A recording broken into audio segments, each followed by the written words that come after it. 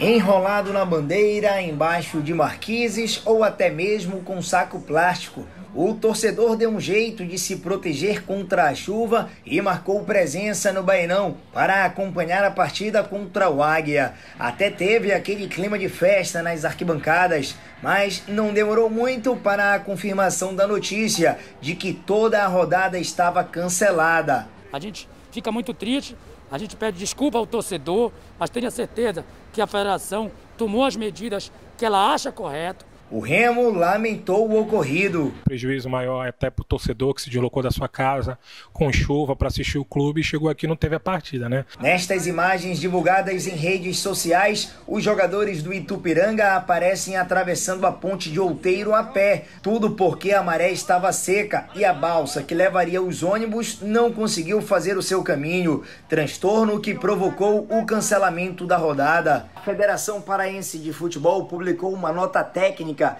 classificando o imprevisto como motivo de força maior, impossibilitando a realização da partida. O texto cita ainda o artigo 22 do regulamento do Parazão, onde todos os jogos da última rodada da fase classificatória devem ser simultâneos. Sendo assim, as partidas foram transferidas para o próximo domingo, dia 6 de março, às 3h30 da tarde. O Paysandu jogaria no estádio Maximino Porpino em Castanhal, onde também estava tudo pronto. A arbitragem chegou a se posicionar para a entrada em campo. É, a gente queria né, fazer essa partida, né, até para encerrar também é, esse campeonato aí, essa, essa primeira fase, né?